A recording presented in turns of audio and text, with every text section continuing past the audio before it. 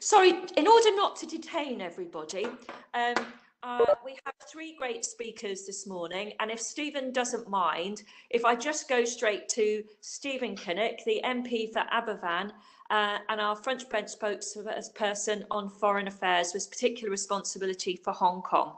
Over to you, Stephen.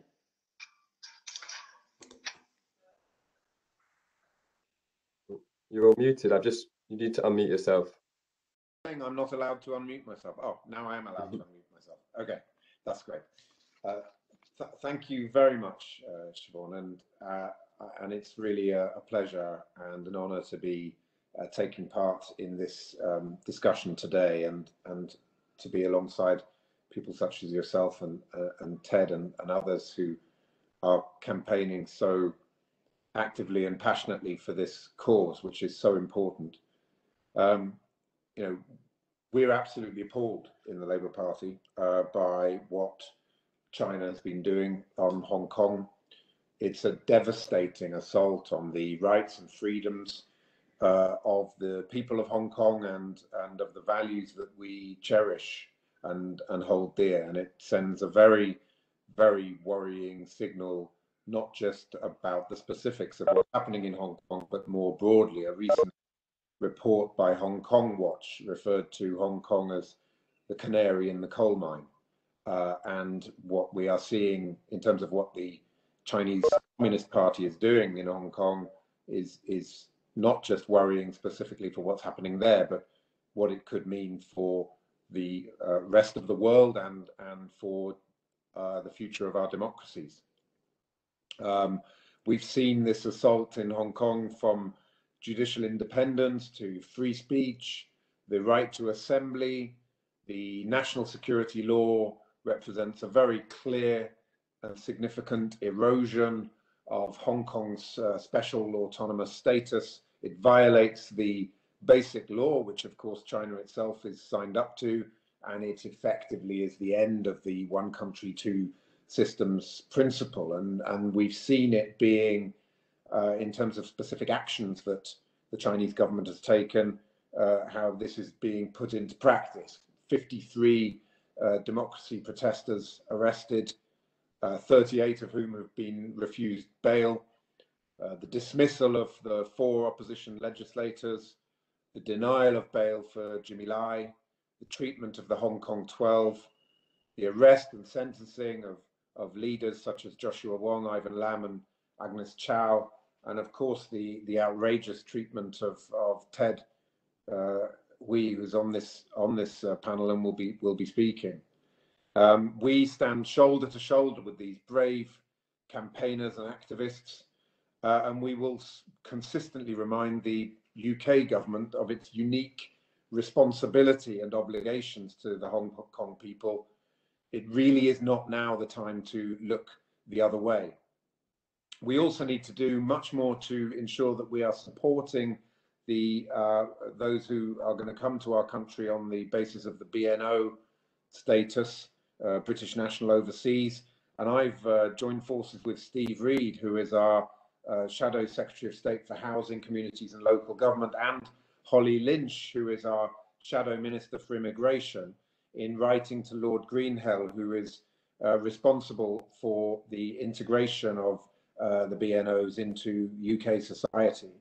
We're worried that uh, there doesn't seem to be enough support and guidance for local authorities, language support, access to GPs, access to housing, education, university tuition fees. Are conversations really happening between government and civil society?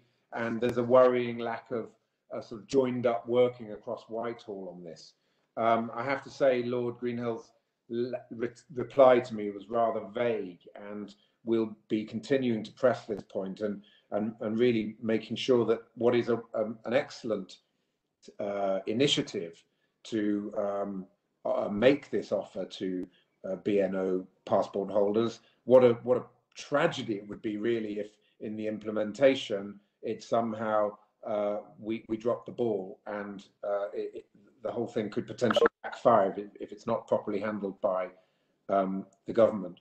We need to ensure that the route uh, to uh, clear a clear path to citizenship is offered uh, to those who were born after 1997. Of course, the Youth Mobility Scheme, and it's right. The Youth Mobility Scheme is is really vague on whether or not this could potentially lead to a path to citizenship. So that's another issue that we're pressing.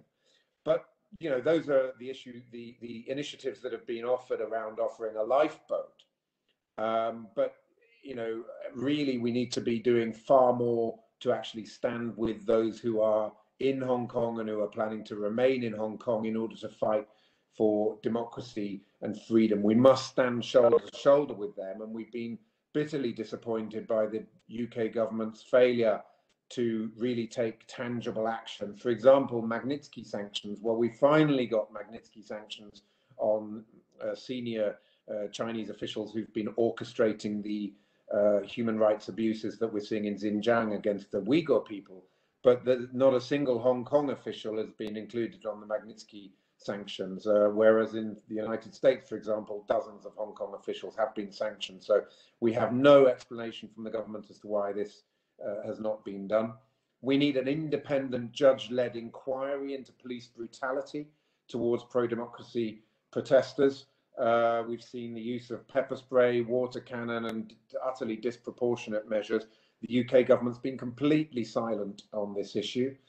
We believe that it's the time is now up for British judges serving in Hong Kong. Uh, you may have seen the recent announcement that the, the Labour Party is shifting its position on this. We believe now that the British judges are simply lending a veneer of legitimacy and credibility to what to a system that is fundamentally broken by the actions of the Chinese government undermining the rule of law. And by continuing to serve in Hong Kong, British judges are simply uh, just lending legitimacy to a fundamentally illegitimate system, and that needs to stop. And we've seen silence from the UK government on the actions of uh, big financial institutions such as HSBC coming out in support of the national security law. Uh, and why isn't the UK government speaking out more uh, vocally on, on, that issue? Um, and I think many of these questions I'm asking about why is the UK government not doing more comes back to the absence, and this is my what I would say in conclusion, really, the absence of a China strategy.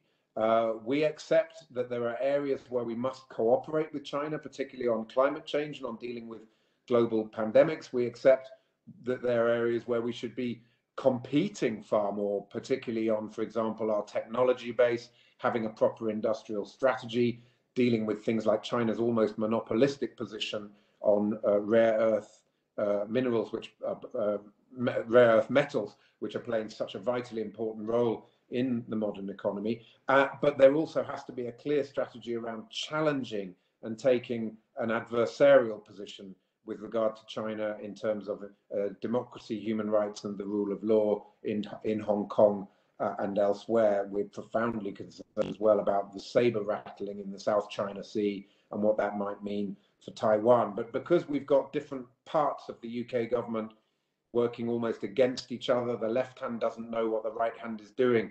We know that the Chinese Communist Party respects strength, weak, strength, consistency, and unity, and is utterly contemptuous of weakness and division. So we need a strong, robust uh, China strategy. That was lacking from the integrated review that was recently announced by the government. And uh, until we have that, I'm afraid that we're going to see the lack of action on issues like Hong Kong that I've just been uh, outlining.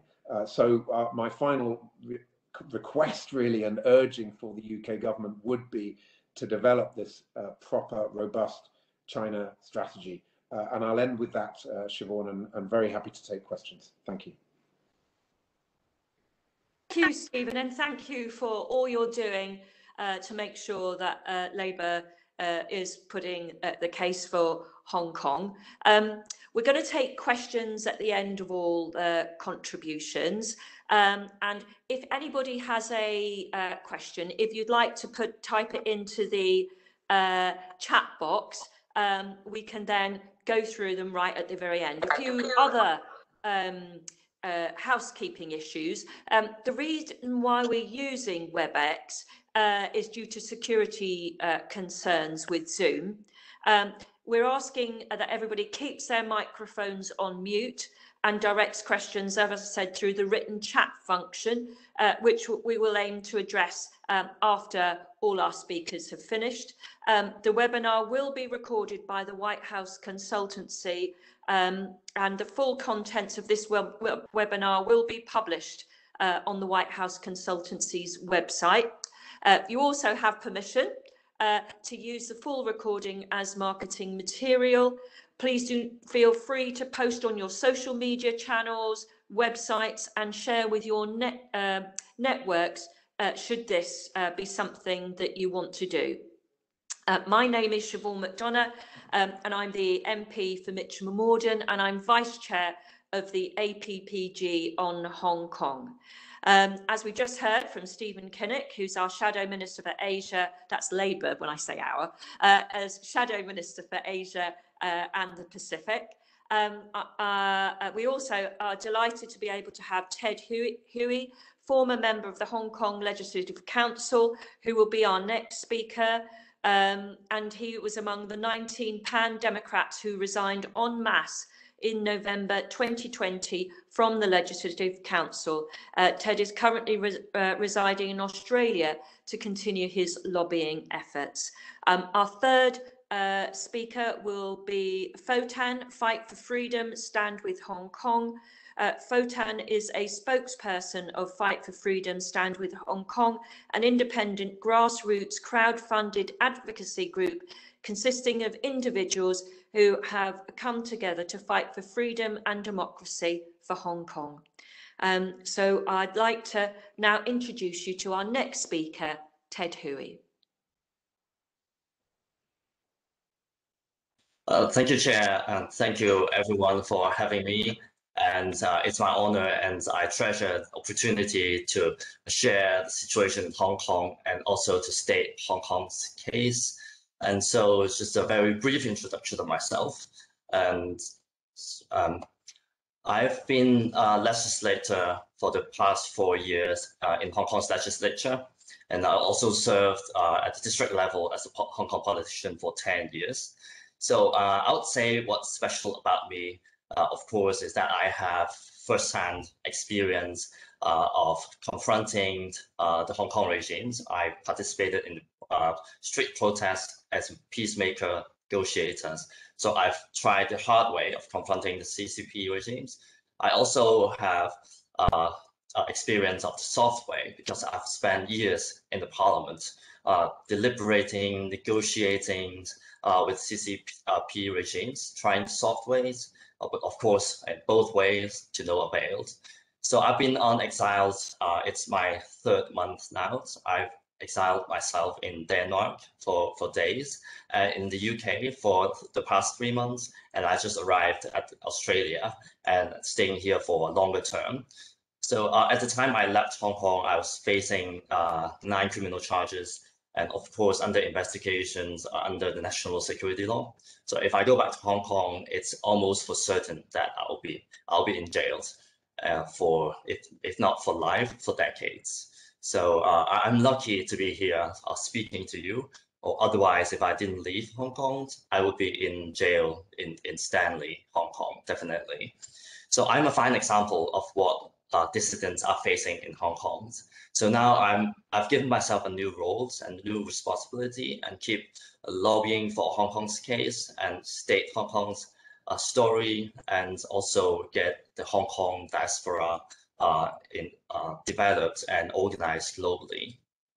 So firstly, um, uh, the UK, of course, has a unique responsibility uh, to Hong Kong's situations. And uh, I would say that Hong Kong should be at the most uh, forefront, should be number one, be the front man to speak for Hong Kong's for, for two reasons. Of course, legally, because of the Sino-British declarations, which the Chinese uh, CCP regimes would call it historicals and bears no more meanings and that the UK shouldn't be meddling with Hong Kong anymore. Of course, they would say that.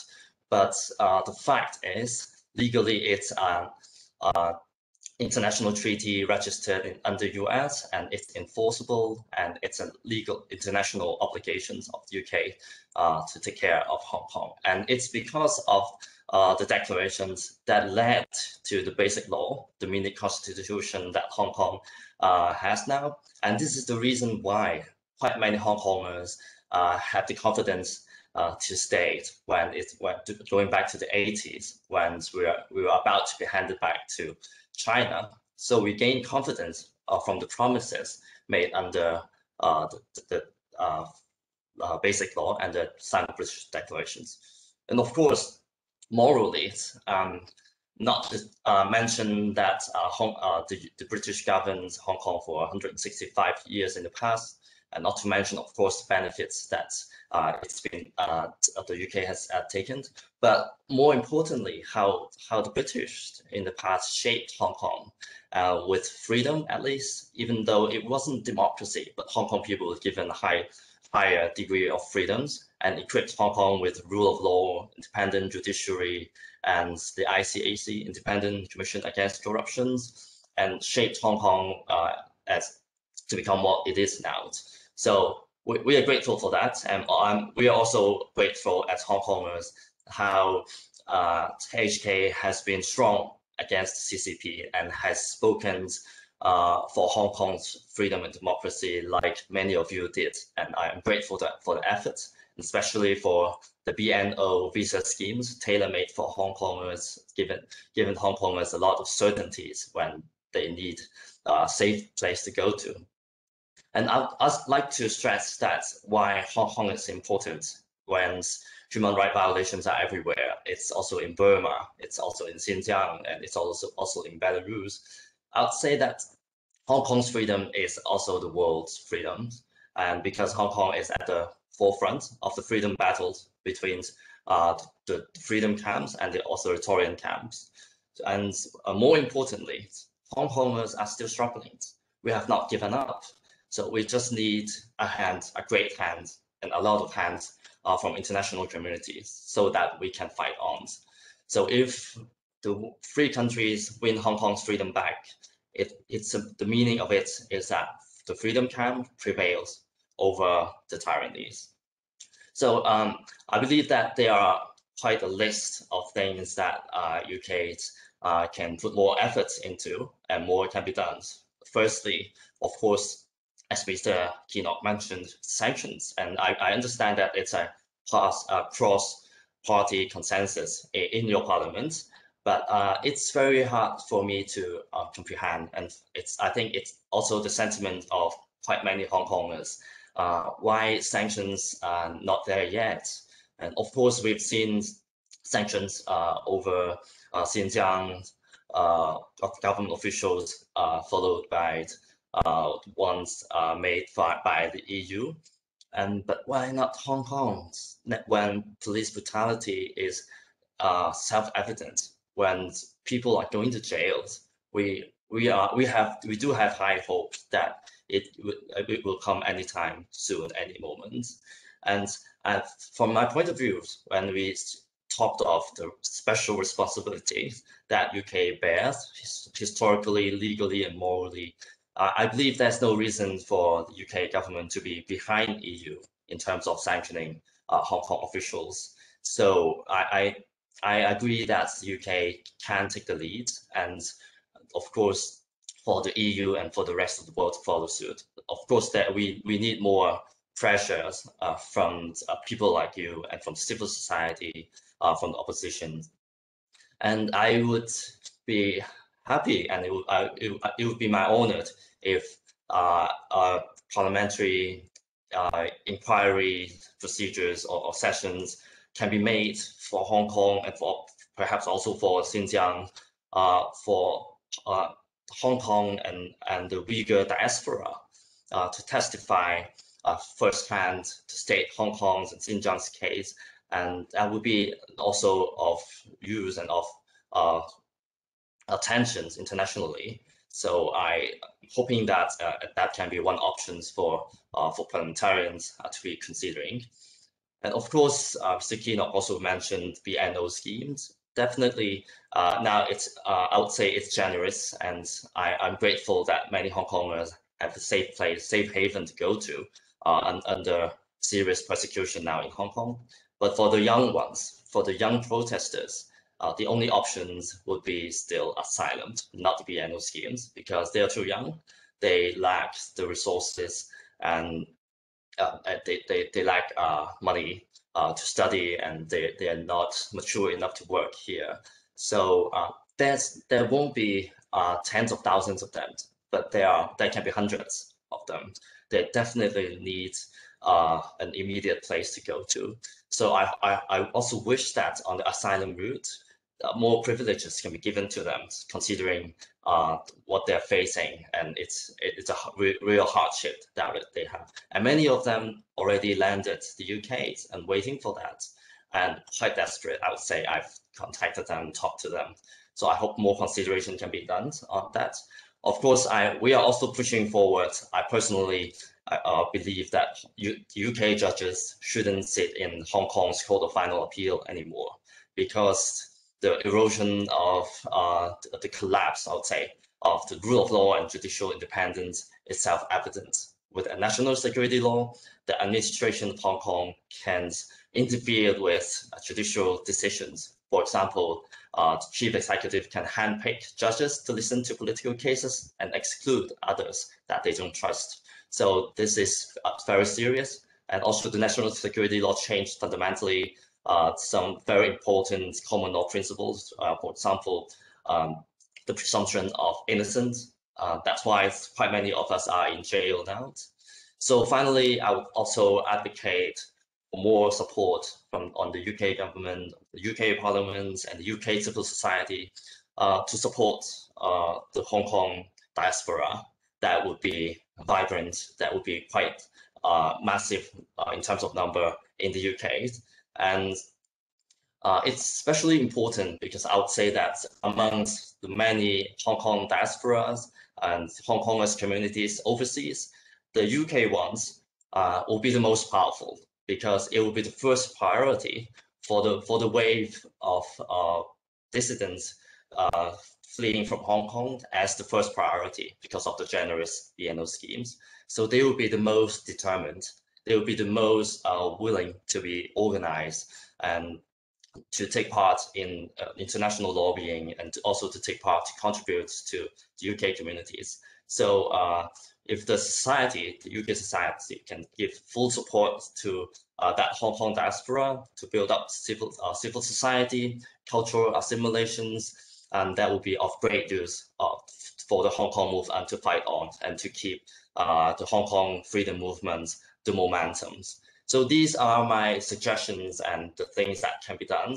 And I, I hope that uh, uh, it can be considered and more uh, to be to be done on the UK's part. I'm happy to take more questions uh, after uh, the, the last speaker speaks. Thank you so much. Thank you very much, Ted. Thank you for your clarity and your bravery. We we we all really admire you. Um, and to our um, final, uh, last but not least speaker, Pho Tan, uh, who is a representative of Fight for Freedom, Stand with Hong Kong. Over to you, Pho Tan. Thank you very much, Chair. Um, so, thank you so much uh, for being uh, with us today. I think certainly Hong Kong has been a, a hot topic, been going for more than a year, and I think now that we are in this kind of a a bottleneck moments that we're asking ourselves, what can we do more? And particularly um, for Labour supporters, Labour Party members, what can you, what kind of role that you can play uh, to support Hong Kong? And as Mr. Hui was saying, um, um, which I, I, I agree with him precisely that, that we're now in a very uh, interesting time because of the national security law and because of what's uh, going on in Hong Kong that China has changed completely uh, how Hong Kong is being governed. One country two system is gone. Common law, the concept of common law, it's it's it's gone. So Hong Kong is no longer an autonomous uh, special administrative region, and and and we are seeing a systematic, uh, repressive uh, uh, programs are happening in Hong Kong that are prosecuting uh, political events. So we see that you know Mr. Hui is now in exile because of of so many unfair charges on him, and then of course we we, we know that the 47 uh, uh, activists are now being uh, charged. Uh, it's national security, uh, security crimes. And so, so what we're seeing now is we're seeing a lot of people are moving away from Hong Kong. Some of them have no choice, and a lot of them will be coming to the UK um, with the BNO visas. I think particularly, um, as Mr. Hui was saying about, uh, we need to pay uh, extra attention on uh, young Hong Kongers who are applying asylums. I think that the Labour Party can play a vital role in ensuring that the government is now reviewing its immigration policy. The government is due to announce um, its uh, overhaul of the asylum policy. I think I do agree with the fact that the asylum policy has been unchanged for many years, and, and it certainly doesn't.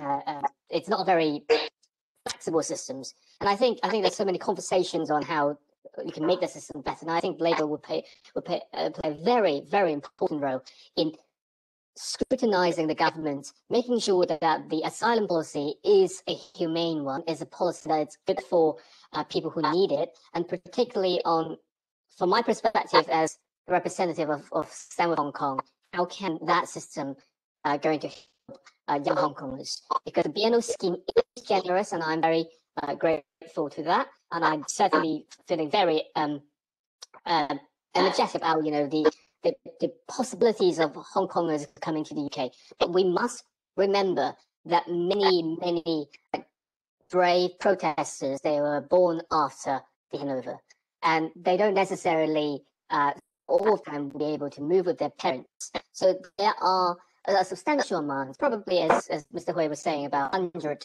hundreds of them will be um, sort of, you know, in this gap and they they won't be covered by anything and and and they will be trapped in you know our, our asylum the uk asylum systems which i'm sure many of you will know that it's not a very pleasant thing so i think that's one thing that we must uh, work on uh, together to build consensus to make sure the government is doing the right thing um, the second thing I think, um, particularly from the Labour perspective, I think the Labour Party will play, uh, will play a very important role is to steer the conversation that we need a comprehensive China strategy. We all know that China is a big threat, and we, we know that we can't ignore the atrocities that China is doing in Xinjiang area and the blatant uh, disregard of international treaty obligations to Hong Kong. This is outrageous and it's barbaric. But the reason why we have to think twice or sometimes inaction, because we also know how important China is. And perhaps it is getting to a point that it's so powerful that one country, UK alone, or even America alone, can't just do something to stop what China is doing. So we need to have a very very comprehensive policy to deal with China. How can we address the threats uh, posed by China? How can we work with China? How can we be firm on issues that we hold dear to? And most importantly, how can we, British government and British public, live up the promise and the moral obligations to Hong Kongers? So I think I'm going to finish the point in saying that there's so much that, that needs to be done. And Labour, I believe, will play a very, very vital role in steering that conversation, in making sure that both sides of the House, both sides of the benches will be on these issues and united for this. Thank you. Um, thank you, uh, thank you, Photon, and thank you for the clarity in which you've uh, explained to all of us how we can help. I'm just going to move to um, questions now. Um, and I'm going to take questions in groups of three. Uh, and uh, so members of the panel, the first three questions are, this first one is from Stella. What do Hong Kong campaigners hope will happen in 2047 when the one country, two systems ends? And from Harple, uh, we touched on this, I think uh, Ted touched on this and so did Stephen. What do you think of the British judges being part of the Hong Kong Court of Final Appeal? Should they stay or go? And finally, from Oscar, what do the panel think ordinary British people can do in cities like mine of Newcastle to make BNOs and younger people seeking asylum feel welcome? So uh, that's uh, about 2047. Uh, what happens then? Uh, British judges, yes or no? And finally, how do citizens make BNO applicants and asylum uh, seekers welcome? Uh, who would like to start? Ted, I saw you. Yeah, please.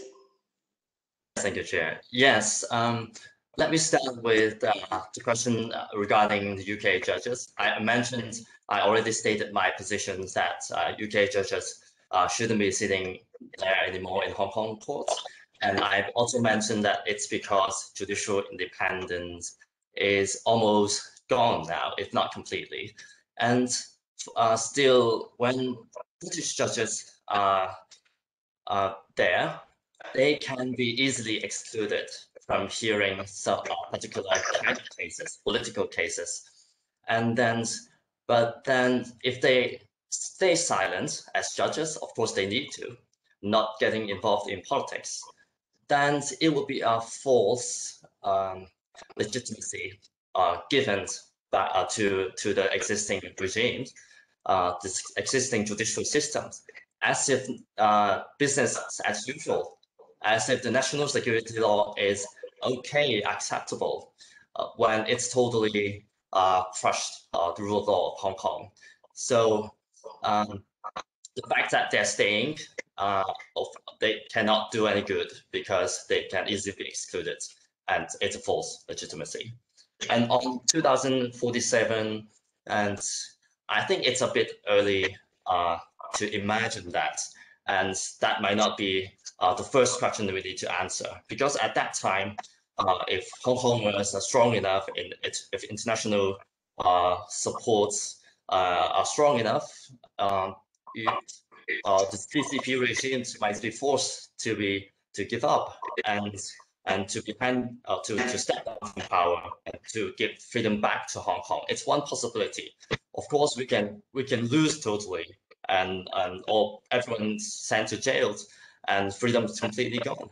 So it's too far away to consider that. But for the Hong Kong diaspora, from my point of view, uh, that's only one goal is to defend what we have left now, uh, the little freedoms that uh, we still are struggling with, and to restore back to Hong Kong where it was before, and even uh, with fighting for full democracy. I think that's only one goal now whether CCP should be completely defeated, should be gone, should be uh, uh, dissolved, or whether one country, two system can still exist and we go back to where we were, I, I think it's too early to, to answer. And so uh, what can normal citizens do? I, I believe I, I, I mentioned in my speech, um, uh, cultural integration uh, would be and, and taking welcoming uh, the Hong Kong diaspora uh, into civil society in UK will be will be important because I would say that un unlike other Hong Kongers uh, communities overseas, uh, the Hong Kong diaspora in, in the UK would have a huge determination uh, to fight on for Hong Kong and then perhaps one day they, they wish to go home if, if Hong Kong is free. So uh, with, with that in heart, of course, they would contribute to the UK community, but at the same time, uh, they they need to be uh, taken care of and to be more integrated in these communities. They need to, the community support um, I, I, a bit more than uh, normal Hong Kong communities overseas. And that will be my answers for now. Thank you, Ted. And um, over to you, Stephen. Yeah, thank you very much, uh, Siobhain. I, I think my answer to that first question about 2047 is the famous quote the arc of history is long, but it bends towards justice. And I am a Democrat, I am an internationalist, and I would not be doing uh, the job that I'm doing unless I believed that in the end, uh, human nature is cooperative and it is it it wants justice and it wants peace and reconciliation. And uh, whilst some might feel that that is a naive point of view, I, I hold it very strongly and passionately. And and um, my opinion is of the Chinese Communist Party that it is an authoritarian regime that has been extremely successful uh, in terms of integrating China into the world economy, lifting millions of people out of poverty. But there will come an inflection point. There will come a tipping point where the people of China want something else. They want freedom. They want the ability to express themselves. They want the uh, ability to elect their leaders. I, I, believe that, and I believe that that point uh, can come. Um, it is not at all something that can ever be imposed from the outside.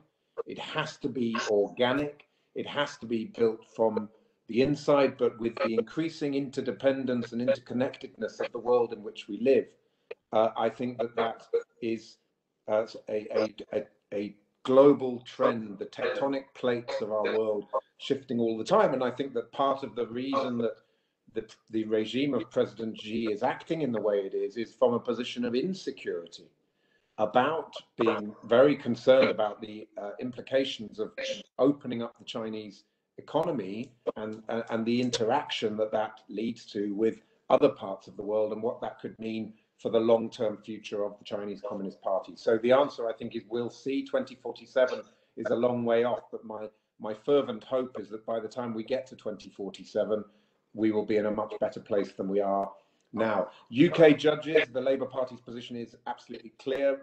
Quite recently, we reached this position. I'm very pleased that we did that we believe that British judges should no longer serve in Hong Kong. We are absolutely clear on that point. We are urging the government to have the same uh, moral clarity about this. And fundamentally, this is this whole issue we're talking about today is about moral clarity. And I, I increasingly feel that there is a, a, shameful lack of moral clarity from uh, the, the, British government on, on many of these points. Uh, in terms of welcoming BNOs, well, we've written to Lord Greenhalgh. Uh, it, perhaps if the person who raised that question would like to contact me, I'd be very happy to share a copy of our letter and his reply, which sets out many of our concerns about the lack of coordination between central government and local authorities.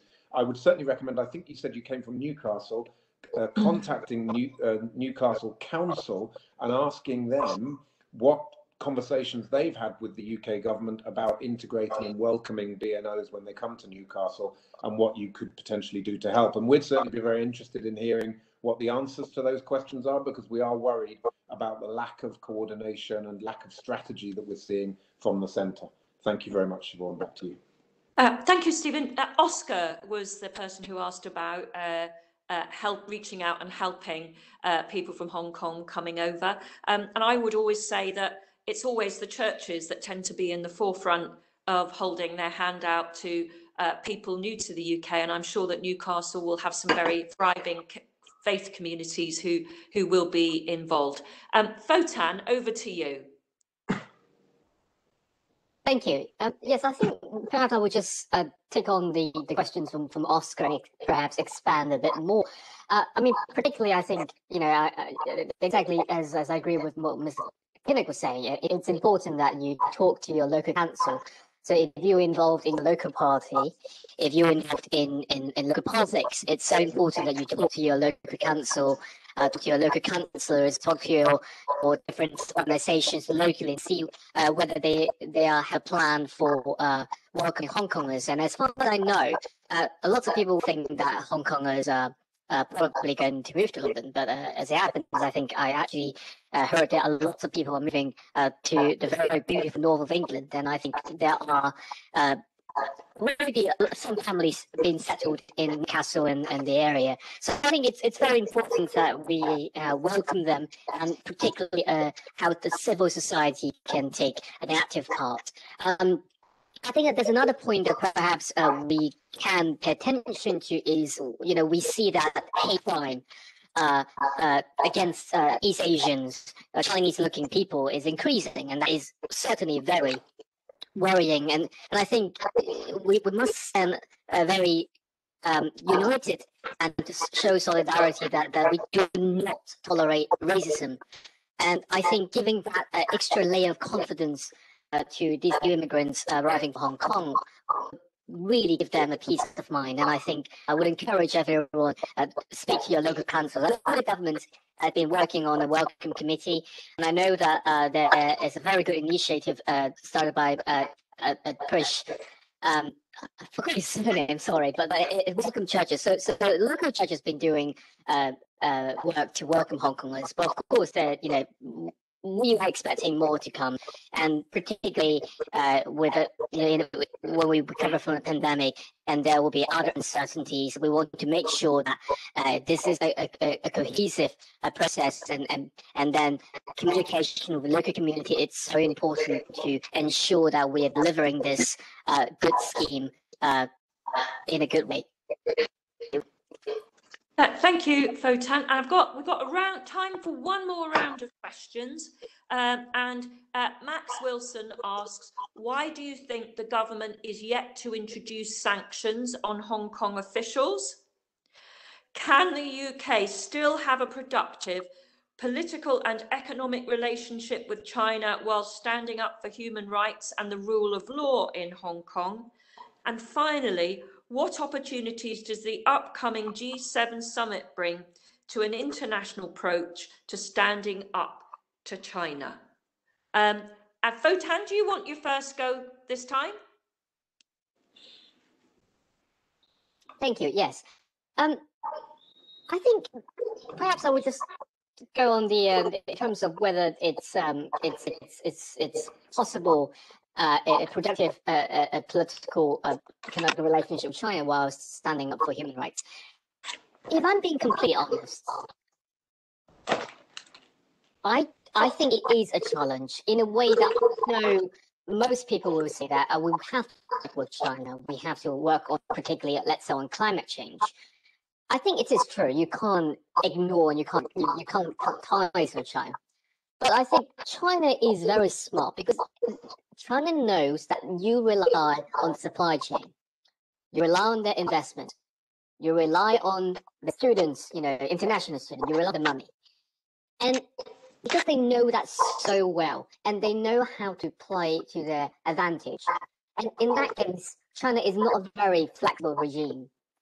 And and and particularly on Hong Kong, on, on Xinjiang, on Uyghurs, these issues, these are what they call a red line, red tape issues. They're, they're not going to um, stand back or they're not going to make any concession to that. So given UK's position as co-signatory of the joint declaration, UK has to stand very firmly on Hong Kong. And given that unique positions, it I cannot imagine that other plans will go as smooth as, as perhaps some people um, would think because you know I, I would like to see obviously you know more cooperations in, in other areas but I think the, the, this is a political reality question that we need to ask ourselves. Is it possible to do that? There might be a way to, to, to get around with it but my my my, my impression is is if we're being completely realistic it would just get harder and harder. And perhaps sometimes we, we do have to make options at where we choose do we place our values on on on on our on our moral standing or do we sacrifice that for economic gains thank you uh, Fotan and Stephen if I come to you now it's about um, why do you think the government is yet to introduce sanctions can the UK work with China uh, while standing up for human rights and the rule of law? And what opportunities does the upbringing G7 give us? Yeah, th thanks, uh, Siobhain. I, I, actually think all of those questions are um, answerable with one word, really, which is strategy. Uh, and until you have a strategy which deals with the complexity of China, the uh, extent to which China impacts on pretty much every aspect of our politics and economy and society, from foreign policy to defense to education uh, to uh, technology uh, to security more broadly, um, you are not going to have an answer to those questions about sanctions, about being able to stand up to China whilst also being able to cooperate with China. And, you know, a lot of this is going to come to a head with the G7 uh, in June, which is an absolutely outstanding opportunity for the UK to so, show some leadership. So, what we need is a strategy which is is driven by two things. I think one is reducing our dependence on China. You know, 57 of the UK's critical national infrastructure lines are exposed to uh, Chinese supply chains. Uh, just look at the, the, crisis we had over personal protective equipment um, last year at the height of the, the coronavirus crisis, because so much of that equipment, 40% of the world's PPE is produced in China. We also have the issue of the Belt and Road Initiative, which is leading to a kind of debt trap diplomacy where countries all over the world are, are keeping their mouths shut when it comes to criticizing Chinese policies because they're getting vast sums of money in terms of loans and infrastructure development and, and that's the quid pro quo. And that's because the international community has been naive and complacent and asleep at the wheel in terms of withdrawing from large parts of Africa, uh, from uh, large parts of Asia. You know, you look at countries like Pakistan with vast amounts of um, infrastructure dependent on uh, Chinese uh, Belt and Road finance. So the, the international community needs to come together uh, and, and the UK should be taking a lead on that in the G7, talking about how we can pool our resources and be far more effective in terms of reducing our dependence on China and, and doing that across the world. And a big part of that, the second pillar of the strategy, has to be about building alliances. And I have to say, um, I'm so worried about the UK becoming increasingly isolated. Whatever people's opinion about Brexit, the reality is that we've spent the last five or six years burning bridges, burning our relationships with key allies uh, in continental Europe. And, and that's made the alliance building process very difficult as well. There's no way that we can stand alone uh, against a, a, a, giant, a political and economic giant like China. So we need to build alliances, we need to reduce our dependence, and then we need to be prepared to challenge because actually by challenging you create more mutual respect the, the sanctions that came, took out came out yesterday against officials in xinjiang what's really interesting i think is the chinese have retaliated and they have sanctioned 10 eu officials what that shows to me is that they do actually care. They could have just ignored it. They could have said oh who cares about magnitsky sanctions in the eu and these people are irrelevant to us anyway? Um, you know it's just you know like a giant elephant swatting a fly off. Uh, but actually they do care and it does get to them. And that shows that it take it actually can create uh, uh, this might be counterintuitive but i think successful diplomacy is based on creating an atmosphere of mutual respect and if one side is consistently weak and appeasing the other side that doesn't create mutual respect that just opens the door to more abuses violations and breaches of law and diplomatic convention so that that's where i think there's a false narrative about if you challenge, you can't cooperate. I actually think the opposite is true. The more we challenge, the more robust and strong we are, the more we'll be able to cooperate effectively on uh, on other areas. Uh, that's that would be my view on those three points. Thank you, Siobhain. Thank you, Stephen. Um, uh, over to and so if I take finally um, take you, Ted. Uh, so that would be about why isn't the British government introducing sanctions? Uh, can the UK still have a relationship with China while standing up for human rights and the rule of law? And what opportunities do the G7 bring? But I'd also, um, oh, I'm sorry there. I thought we had um, a further question, but I can't see it now. But, but Ted, over to you. Okay, thank you. I'll try to be brief. I know time's limited. And for the quest, uh, for the first questions, why sanctions not in place, I I'd also like to ask why, and it's hard for me uh, to be speculating on it, but uh, I would be thinking perhaps would that be about the investment interest uh, with the business sector in Hong Kong and uh, with the UK's investment in Hong Kong, there are companies like Swire, Pacific, and would it be their interest, and, and that's in, also in UK's interest that the government is still considering.